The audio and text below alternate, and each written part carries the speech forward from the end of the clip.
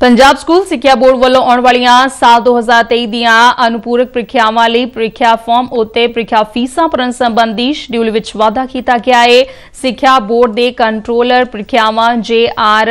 ਮਹਿਰੋਕ ਵੱਲੋਂ ਜਾਰੀ ਪ੍ਰੈਸ ਬਿਆਨ ਅਨੁਸਾਰ ਅਗਸਤ ਸਤੰਬਰ 2023 ਵਿੱਚ ਕਰਵਾਈ ਜਾਣ ਵਾਲੀ 10ਵੀਂ ਅਤੇ 12ਵੀਂ ਸ਼੍ਰੇਣੀ ਦੀਆਂ ਕੰਪਾਰਟਮੈਂਟ ਰੀਅਪੀਅਰ ਵਿਸ਼ਿਆਂ ਦੀ ਅਨੁਪੂਰਕ ਪ੍ਰੀਖਿਆ ਅਤੇ ਵਾਧੂ ਵਿਸ਼ੇ ਦੀ ਪ੍ਰੀਖਿਆ ਲਈ ਆਨਲਾਈਨ ਪ੍ਰੀਖਿਆ ਫਾਰਮ ਅਤੇ ਪ੍ਰੀਖਿਆ ਫੀਸ ਹੁਣ 11 ਜੁਲਾਈ 2023 मई तक बिना किसी लेट फीस के भरे जा सकते